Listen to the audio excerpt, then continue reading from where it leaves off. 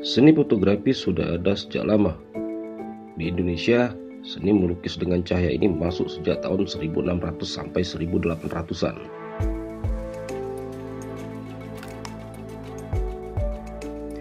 Nama Kasian Cipas tak banyak orang yang tahu. Padahal pribumi Jawa asal Kesultanan Yogyakarta Hadiningrat ini adalah fotografer pertama di masa Hindia Belanda.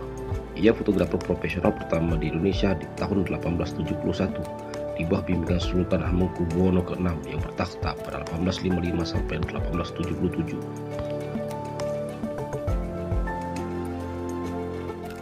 Kasian Cipas mulai terlacak melalui karya fotografi tertuanya buatan tahun 1875. Oke, sebelum lanjut mengulas tentang bahan fotografi di Indonesia ini, ada baiknya subscribe channel ini Tinggalkan like serta komen supaya channel ini memberikan informasi penting maupun yang tidak penting.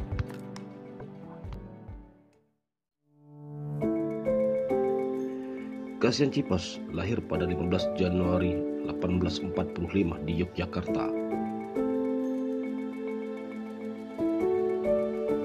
Ia adalah putra dari pasangan Kartodrono dan Minah. Di usia 15 tahun, Nama Cipas melekat setelah dibaptis pada 27 Desember 1860 karena mengikuti jejak misionaris Protestan Christina Petronella Philip dan Stephen menuju Baghdad Purworejo.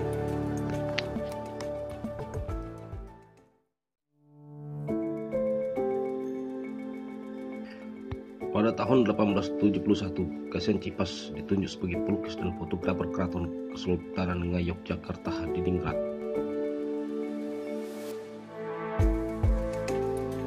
Profesi itu didapatnya setelah berada di Yogyakarta di awal tahun 1860-an serta mengikuti jejak Simon William Kemmerik, anggota skuter dan fotografer Keraton Kesultanan Yogyakarta Hadiningrat. Saat itu, posisinya adalah murid magang di bawah pimpinan Sultan Hamengkubuwono ke-6.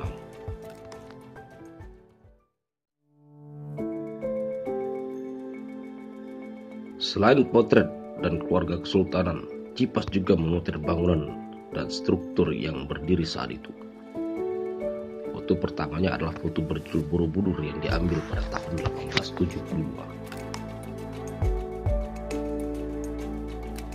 Nah, foto inilah yang menjadi cikal bakal diketahuinya jejak kaset Cipas pada tahun 1875. Selain foto Borobudur, Foto lainnya di antaranya yakni Taman Sari 1884 untuk Batavia Scape Van Kusten and Western Japan.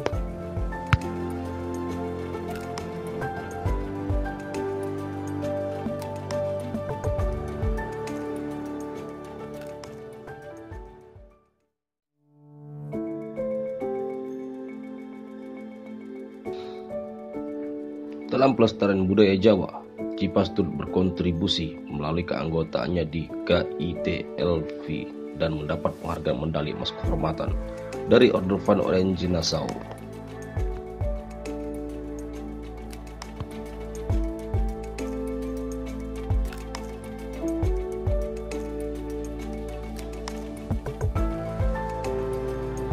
Di masa Hindia Belanda, Kasian Cipas juga sempat membuka studio foto yang bertempat di lantai dua rumahnya ia dan istrinya tinggal di loji kecil Wetat yang saat ini dikenal Jalan Mario Suryotomo.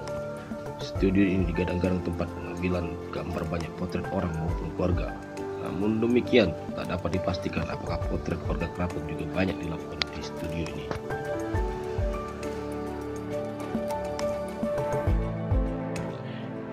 Isa Groneman, seorang dokter resmi Sultan Hamengkubuwono ke-6 adalah orang yang paling berjasa dalam karir fotografi kaset Cipas selain Simon William Kamerik. Sekitar tahun 1870-an hingga 1880-an, Groneman mulai tertarik pada bidang sejarah dan budaya Jawa. Pada tahun 1885, Groneman menjadi pendiri sekaligus anggota perkumpulan arkeologi, geografi, bahasa, dan etnografi Yogyakarta. Saat itu Groneman mengajak Kasih Cipas untuk bergabung menjadi anggota, sehingga dalam banyak penelitian yang dilakukan perkumpulan ini, Kasih Cipas lah yang memotret. Kaset Cipas juga banyak memotret penelitian yang dilakukan secara pribadi oleh Groneman.